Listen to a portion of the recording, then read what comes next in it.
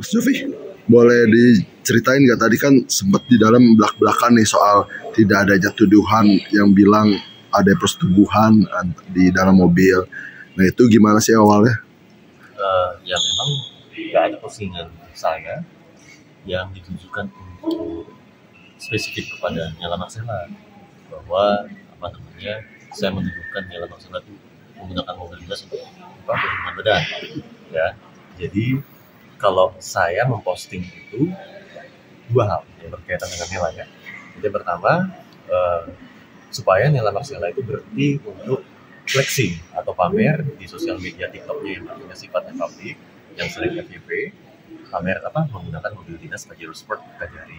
Uh-huh. Sementara statusnya adalah perwakilan bukan ajudan pimpinan dan juga bukan uh, supir pimpinan dan juga bukan jasa. Nah yang kedua adalah merupakan himbauan. Saya membuat himbauan, jadi itu postingan yang memang ada wajah dia, tapi kan himbauan supaya masyarakat di Tapanuli Selatan dan juga di Kota Padang Sidempuan untuk mengawasi. Karena Nela sering pamer foto ya kan menggunakan mobil dinas Kajari yang Pajero Sport itu supaya apa namanya diawasi. Jangan menggunakan mobil dinas tersebut untuk kepentingan pribadi seperti pacaran. Jadi himbauan itu kan beda dengan tuduhan. Kalau tuduhan kan langsung ngomong eh Nela Marcella menggunakan mobil dinas untuk acara. Jadi kan himbauan dan konteksnya pun ketersinggungan itu pun juga sangat disayangkan. Mengapa? Karena kritik untuk kepentingan umum itu kan bagian dari demokrasi. Yang tentunya kita sama-sama tahu sudah ada jurisprudensi sangat banyak bahwa kritik terhadap penyelenggara pemerintahan yang digaji oleh rakyat tidak dapat dipidana.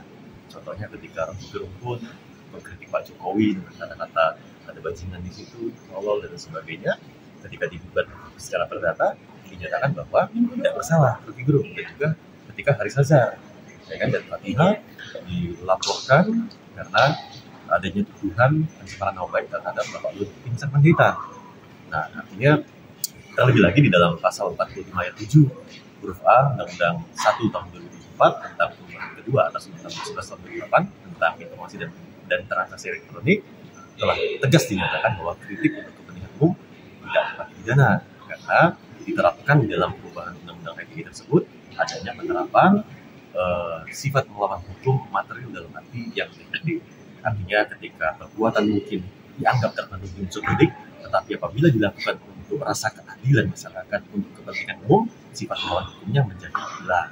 Jadi tidak benar kalau itu ada tuduhan seperti itu. Tapi Berarti tadi ini mau menepis uh, unggahan itu bukan serangan pribadi gitu. Bukan demi Allah bukan. Jadi jadi gini, kalau yang ada foto Nela kan itu sudah terbukti dalam persidangan bahwa memang Nela Marcella suka flexing di akun TikTok yang sifatnya publik, kehidupan pribadi dia sebagai seorang ASN, sering FYP dan juga sering menggunakan mobil dinas. Pajero Sport Kajari itu terbukti di situ. Tapi kalau misalkan saya uh, yang ada kata-kata bersekutu atau bahasa anak mudahnya ada nget itunya, ya kan ngetot itu, itu memang bukan ditujukan untuk Nela, tapi saya ngomong refleksi bagi apa seluruh insan adiaksa termasuk saya ya kan? Kalau mau intinya dasarnya gini. Anak muda kalau mau pacaran mau hubungan badan itu urusan pribadi masing-masing. Tapi jangan pakai mobil dinas. Artinya itu tidak ada nama Nela di postingan yang ada kata-kata mentor tentu dan lain sebagainya. Kok dilaporkan oleh Nela yang postingan saya di Instagram tanggal 14 Mei itu dilaporkan. Tidak ada sebut nama dia tidak ada tag dia. Ya kan dilaporkan di tanggal 25 Mei.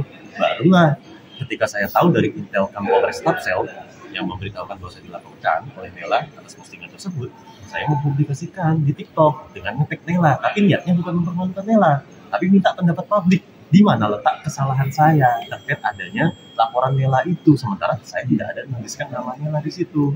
Memang saya ngetek Nela, tapi kan niatnya bukan mempermalukan, ya kan?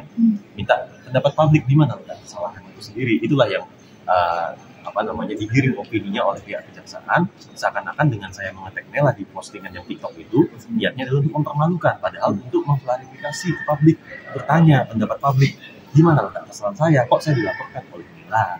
Dan tadi kan sempat tuh Nela ngomong kalau apa namanya tidak ada uh, pengetahuan sepengetahuan kajari ya kan? Kalau dia melaporkan ini semua tidak ada dorongan kajari.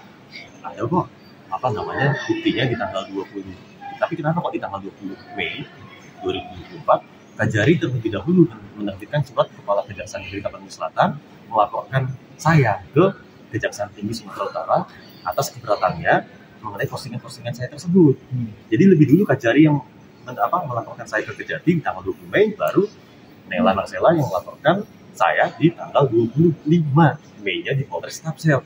Dan ada bukti percakapan, ya kan, Eh, di kolom komentar postingan TikTok dia kakak kandungnya Nela, ya kan, Nela mengatakan intinya ada screenshot yang bisa ditunjukkan bahwa itu apa namanya eh, Nela Marcella itu melaporkan saya itu demi keluarganya orang tuanya dan juga demi ibu Kajari. Artinya kan apa namanya ada dorongan dari ibu Kajari itu sendiri kalau ini masalah pribadi pun kenapa ibu Kajari kok antusias datang di konferensi pers sementara apa namanya ini masalah pribadi? Dan ketika dimintai apa di pengadilan untuk datang sebagai saksi kok nggak berkenan? Tapi konferensi pers datang Terus mas setelah ada dorongan yang kan diupayakan untuk restoratif justice, Ya. apakah mas akan melakukan permohonan maaf kemudian dan meminta agar permasalahan ini diselesaikan baik-baik dengan kepada jaksa agung mungkin kemudian setelah mendapat dari saran anggota legislatif Iya, kalau langkah mas selanjutnya Ya, gimana? Kalau langkah selanjutnya begini, upaya restoratif justice itu kan ibarat kata kalau misalkan, jadi kayak framingnya saya itu harus minta maaf, saya mengakui kesalahan, saya tidak mau melakukan itu. Kenapa? Yang pertama, saya tidak pernah menuduh Nela Marcella seperti yang dipublikasikan oleh Kopus Petkum bahwa saya menuduh Nela Marcella menggunakan mobil dinas untuk penutupan badan. Saya tidak melakukan itu. Yang kedua, ya saya mengkritik Nela Marcella dalam kapasitasnya sebagai penyelenggara pemerintahan yang makan uang rakyat juga yang tidak boleh ada kritik. Jadi